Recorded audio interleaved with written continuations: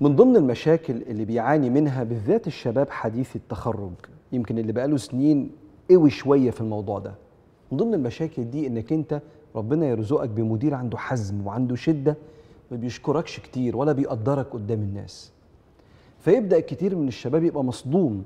أنا كنت عايز حد يشجعني ولو شجعتني هتطلع أحسن ما فيا. ويبدأ الإنسان ده يحتار أكمل ولا أسيب الشغل؟ بص علشان تعرف تريح بالك من الحيرة دي تعال الأول نحط نفسنا على تراك معين.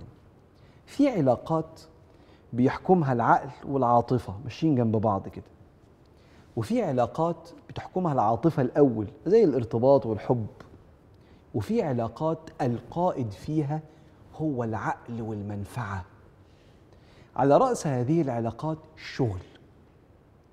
مش كل المديرين بيعرف يعمل الاتزان ما بين الإدارة بالحب والإدارة بالحزم مدرستين الإدارة المشهورين جدا. بل المدير الحازم نفسه اللي بيدير بالحزم ما بيعرفش يعمل بعضهم ما بيعرفش يعمل اتزان ما بين الحزم والعنف. عشان كده في عشرات ومئات الكتب وعشرات الكورسات اللي معمولة لصناعة من المدير قائد leader يعرف يحفز الناس وهو بيحافظ عليهم يعرف يكبرهم وهو بيحقق بيهم ال target الكورسات دي معمولة ليه؟ لأن الإحصائيات بتقول في فوربس وفي لينكد إن وفي معهد الجالوب بتقول إن 10% بس من المديرين هم اللي عندهم صفات القيادة والباقي مديرين محتاجين يتعلموا أصلا إدارة وقيادة فأنا النهاردة لو اصطدمت بمدير في بداية حياتي ولا بمنتصف حياتي مدير حازم لدرجة إنه شديد معايا ما بيشكرنيش خالص. ما ينفعش ده يبقى العامل الرئيسي في قراري أفضل ولا أمشي. في حاجات محفزات وفي بواعث.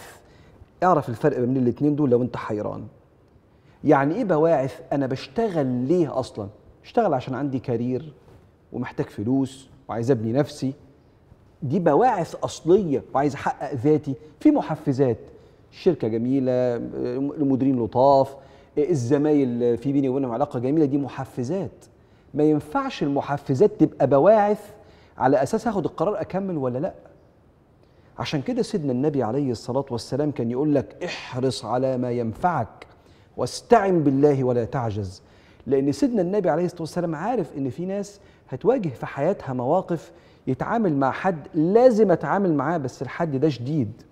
فيبقى حاطط في ميزاني كده هو أنا هأسيب عشان هو شديد ولا أفكر في مصلحتي وأستحمل وأبدأ أتأقلم؟ طبعا أنا مش بتكلم على واحد بيتشتم وبيتهان ده حاجة اكستريم زيادة أنا بتكلم على أغلب المديرين اللي طبعه بيدير بالحزم عشان يخلص لأنه فوق مدير تاني دايس عليه.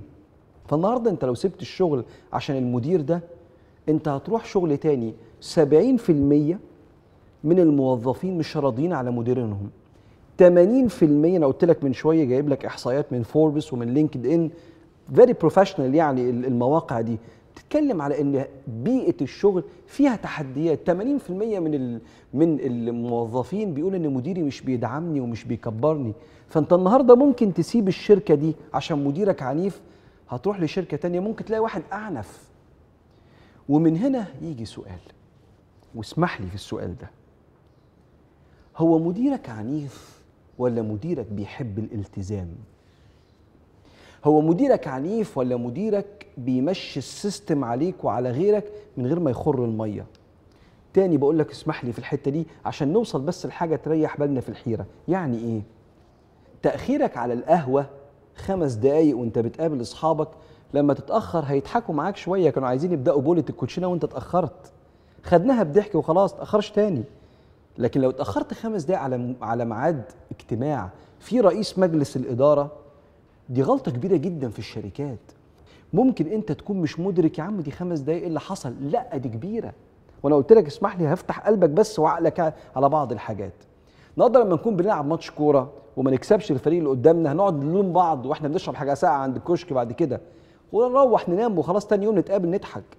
لكن لو ما حققتش التارجت بتاعك مديرك فوق مدير بيفرمه معلش بالراحة يعني كده كلام الشغل يعني. ضاغط عليه عشان يضغط عليك انت. فتقدير الحاجات دي لازم تبقى فاهم إن ده المايند ده العقل اللي ممكن تكون شركتك ماشية بيه. فلازم تفرق ما بين حياتك اللي بره وحياتك جوه الشغل اللي فيها مصالح والعواطف فيها أقل شوية. سيدنا النبي عليه الصلاة والسلام لما كان بيصف الجيش ولقى سيدنا سواد أحد الصحابة مش واقف في الصف قال استوي يا سواد. يعني مش هينفع إحنا واقفين مع بعض وإحنا بنشرب حاجة بناكل حاجة قاعدين كده متناثرين في الجيش وإحنا بنصف الجيش زي الساعة المكان غير المكان والمشاعر غير المشاعر واللي بيقود هنا غير اللي بيقود هنا أقصد طريقة القيادة هنا مختلفة. سيدنا النبي في الصلاة كان يقول استووا يرحمكم الله وكان يعدي على الصفوف يطمن قبل ما نقابل ربنا لازم الكل يبقى مستوي القدم في القدم والكتف في الكتف يستوي الصف تراصوا تراحموا في system معين فاللي بيبقى لسه متخرج وداخل على الشركة نفسه إنه يبقى مع الناس وبنحب بعض وهنحقق ال target إن شاء الله يفاجأ بالحزم ده؟ لا. ده ما يبقاش محرك ليك إنك تسيب الشغل بتاعك. تأقلم اتعود امشي صح سلم شغلك في وقته اجتهد ساعتها المدير الحازم والمدير الحنين هيحترمك ويعتمد عليك وهتكبر في شغلك إن شاء الله.